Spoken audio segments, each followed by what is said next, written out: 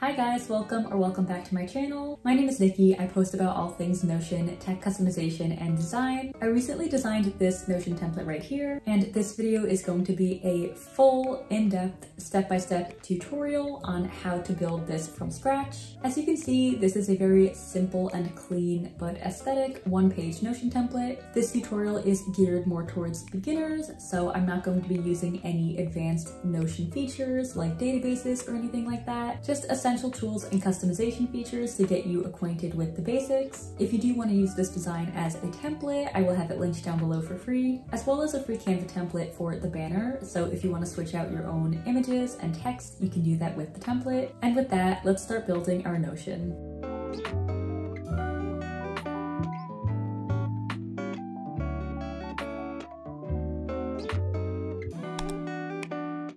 Okay, so first things first, we're going to want to make a new page in our Notion. So I'm gonna go ahead and click this icon in the upper left corner, and then that's gonna open our sidebar. Then I'm gonna mouse over where it says private and click the plus icon. And then when I'm designing in Notion, I like to close my sidebar here. So I'm gonna click this icon, and then we have a fresh blank page in Notion. And the very first thing I'm gonna do is add my banner at the top of my page. And for this, I actually have a free Notion banner template that you can find on my website website, I'll link it down below. But this is a free Canva template. You don't need Canva Pro to use this template. So you can, of course, use this banner exactly as is. But if you want to change the text or switch out any of the images with your own custom ones, you can do that too. When you're ready to use it, just make sure to download it as a JPEG or PNG file. Okay, so let's go ahead and add our banner. So if we mouse over the top of the page here, we're gonna see an add cover option. So go ahead and click that. And then Notion is gonna add a default cover automatically for us us. And if we want to add our own custom one, go ahead and click change cover. And then I like to upload my own custom banner. So I'm going to click upload,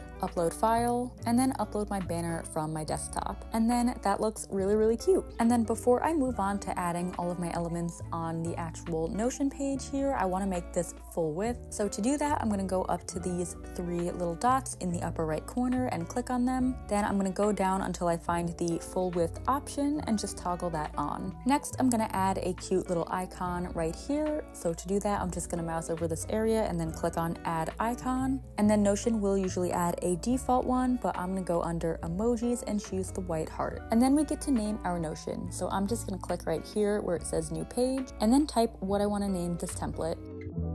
Now I'm gonna add a cute little quote bar at the top of my page here. So to do that, mouse over on the left-hand side of your screen and then click call out. So I wanna change the background color of this call out. And to do that, we are gonna click on this dots icon and then go to color. And I'm gonna do the gray background. I can change this icon by clicking on it and then choosing either an emoji, an icon, or upload our own custom icon. For this one, I'm gonna go back under icons and choose this little sun. Then I'm gonna add my quote, so I'm just gonna click in the call out and type my quote. Okay, so next we're going to add our little clock widget. This is probably one of my favorite Notion widgets ever, and this widget is free, and to get it, we are going to go to widgetbox.app, and then if you don't have an account already, go ahead and make one. And then in your app, you should see a page that looks like this with all of your widget options on the side. So go down until you see clocks and then click on digital clock and then click on customize and embed. Then what we're gonna do is customize how our clock looks. So I'm just gonna input my background color here and I'm gonna do a custom hex code. This one is gonna be F3F2EC and then just click out. And now I'm gonna set my text color. I'm gonna input another custom hex code. For this one, it's gonna be 8A8 282. And then the last thing I'm gonna do here is adjust my corner rounding. So I'm gonna click on medium. Now that I'm done, I'm gonna click at the top here where it says copy embed URL and then go back to Notion. Then I'm gonna click anywhere in this blank area down here and paste in my link. And then you're gonna have this little menu come up. Go ahead and click on embed. And then we have our little clock widget. Next, I'm gonna make a little daily to-do list. So to do that, again, mouse over anywhere kind of on the left area of your screen screen and then click on the plus icon and then click on call out. So for this one, I actually want to remove this icon. So I'm going to click on it and then just go up here and click remove. Then I want to change the color of this callout, so I'm gonna mouse over it and click the dots icon, go to color, and then for this one, I'm gonna do default background. Next, I'm gonna add the title for my to-do list, so I'm just gonna write daily to do, and I wanna make this text bigger, so I'm going to highlight it, and when I do that, you're gonna have this menu bar come up,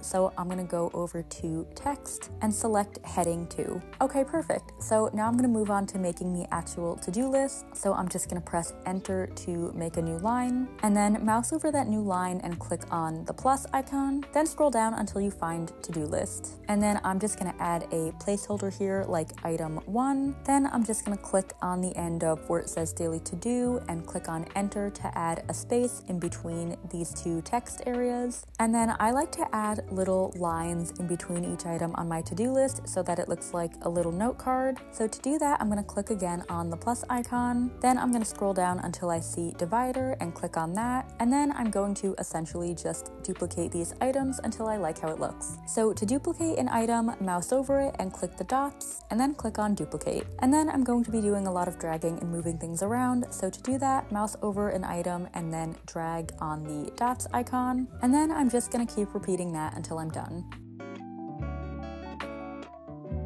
Now that I have all of my items in my to-do list, I'm just gonna click on the bottom here and press delete, and then that'll get rid of that extra space at the bottom. And then that's all I'm gonna do for the daily to-do list, and the next thing I'm gonna add is a Spotify playlist. So to do this, go into your Spotify and navigate to the playlist that you wanna add. I am doing this the Summer I Turn Pretty inspired playlist, and then once you have your playlist, go ahead to this little dots icon and click on it, and then go down to share, and then click on copy link to playlist. Then go back to your Notion, click on a blank area in your page and paste your link, and then click on embed. The next thing I'm going to do is add a very simple habit tracker, and it's going to be the same format as my daily to do list. So, to keep things simple, I am literally just going to duplicate this box here. So, to do that, I'm going to mouse over it and then click the dots and then click on duplicate. And then I'm just going to change this title here to habits. And then the last thing I'm gonna do for this little top section in my Notion is add my vision board. So my vision board is just gonna be a bunch of pretty images that I found on Pinterest. So to add an image, mouse over the blank area on your page and click the plus, and then click on image, and then upload file. And then I have my images pre-saved on my desktop, so I'm just gonna click in this folder and add them one by one. Okay, so I have all of my images added and I do have them already pre-cropped to a square ratio. You can do that before you bring them into Notion, but if you want to crop them in Notion, there is a way to do that and I'm going to show you how. So to crop an image in Notion, all you have to do is mouse over it and then click on this little icon in the middle of this menu bar here, and then just click and drag on these handlebars until you get the crop that you want. You can also click on the arrow up here and explore these different crop options, and then when you're done, all you're gonna do is click save. Okay, so now I have all of my elements added that I wanna use in my little intro section for this Notion. And then the last thing I'm gonna do for this section is actually arrange everything. So to move all of these elements, all I'm gonna do is mouse over each one and then click and drag on this little dots icon here. Once you put two elements on the same line, if you mouse over kind of in between them, you're gonna see this bar appear. It's just like a vertical line. And then if you click and drag it, you're able to adjust the size and spacing a little bit more. So I'm just gonna go ahead and keep on arranging things.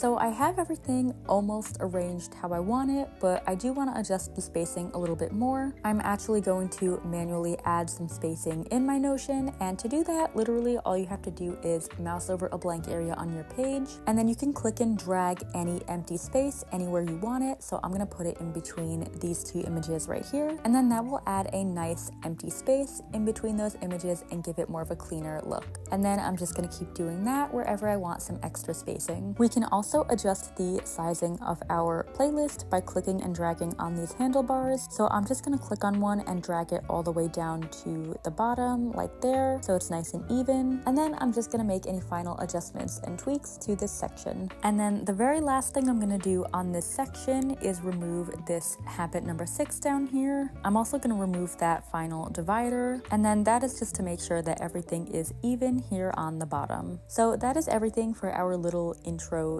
dashboard section. Let's go ahead and move on to the daily schedule section.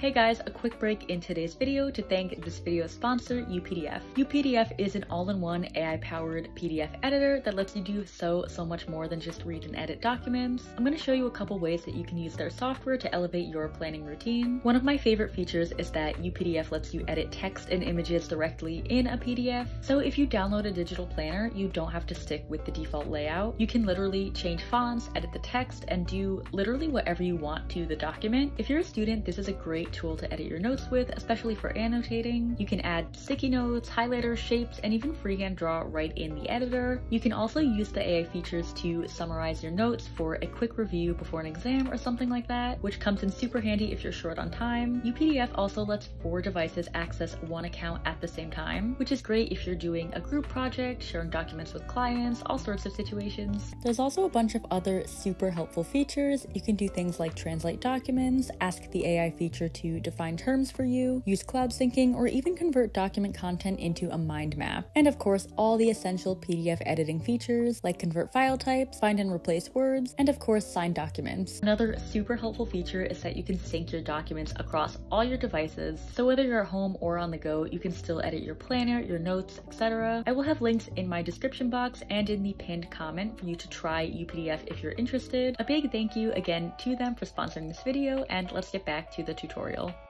So the first thing I'm to do is duplicate this header up here. So I'm just to mouse over it and then click the dots icon and then click on duplicate. Then I'm just gonna click and drag it on the bottom here, just like that. And then to change the icon, I'm gonna click on it and then select a new one. I'm gonna search for calendar in this little search bar here and then just click on this one. Then I'm gonna change this text here to say today's schedule. I wanna make this text bold, so I'm going to highlight it and then click on text and then click on heading two. And then now we're gonna actually add our schedule. So go ahead and mouse on a blank area on your page and click the plus icon and then scroll down until you see the table option and then just click on it. And then Notion will add a blank table for us. The default table has three columns, but I only want to have two. So I'm just going to click on this last column over here and then mouse over kind of the center at the top here. And you're going to see this little icon up here. Go ahead and click on that and then just click on delete. And then we are left with just two columns. So I want my schedule to stretch all the way across the width of the page. And to do that, I'm just gonna mouse over the edge here until I see the blue line appear and then just click and drag that all the way to the edge. Then I'm gonna do the same thing to adjust this line and make the left column a little bit smaller, maybe something like that. So I guess a lot smaller. And then I'm just gonna readjust this over here. And then the way the schedule is going to be formatted is that on the left side, we're going to have the time. And then on the right side, we're going to have the activity that we'll be doing at that time. So I'm just gonna type in my labels at the top here, and then I'm just going to start filling in my times in the left column. To add a new row, all we have to do is mouse over this table here and then click the plus icon at the bottom. Now that I've added all of my times in there, this section is pretty much done. So I've done an hour by hour daily schedule, but obviously you can do whatever time system that you want. You can do half hours, every 15 minutes, really whatever works for you and your schedule. Now we are going to move on to the next section, which is the daily journal section. I'm gonna start start by duplicating this call out. So we have a header, then I'm just gonna drag this to the bottom here. I'm gonna change out this icon by clicking on it. Then I'm gonna use this pencil list icon. And then I'm just gonna change out this text with daily journal. Now we are going to add our first journal block. So to do that, we are going to use the call out feature again. So I'm just gonna mouse over a blank area on the page and click the plus icon. And then I'm gonna click on call out. I'm gonna get rid of this icon by clicking on it and then going up here and clicking remove now I'm just gonna type in my first journal prompt. And for this one, I'm gonna do what does my ideal day look like? And then I'm going to press enter. And then I like to add three little dots kind of as a placeholder. And then I'm just gonna move my cursor back to the end of my prompt and press enter again. And then this is gonna add an extra space in between my prompt and the dots. And then I'm just gonna click out of this. And then I'm just gonna duplicate this box three times. And now I'm just gonna arrange them how I like and also add some custom spacing. And then the last thing I'm gonna do for this section is add in my other journal prompts. And then once you do that, your daily journal section is complete. And now we are going to move on to the final section of this template. I'm just going to be adding a couple functional widgets, as well as a cute little quote image. So to get started, let's go ahead and add a calendar. So again, make sure you're mousing over a blank area at the bottom of your screen, and then press the plus icon, and then scroll down until you find the calendar view option. And then we have our calendar in Notion. So I usually like to hide the name of my calendar. So to do that, just mouse over where it says new database and then click these little dots over here and then go down and click on hide database title. Next, we are going to add a weather widget and this one is also free. For this one, we're going to go to indify.co and then make a free account or log in. So once you're on your main page here, this is what you'll see. Scroll down and mouse over weather right here and then click on create widget and then add your widget title. So I usually just do something like weather. And then I'm just going to go through all of these customization options and adjust everything until I'm happy with my widget. The only customization I really do here is change the number of days to zero, and then that way it's only showing us the current weather. And then down here we have a bunch of other really cool customization options like color and animated icons, but I'm just gonna leave it like this. I really like how simple and minimal this looks. And then once I'm done, I'm gonna go down here and click on this button right here to copy my link,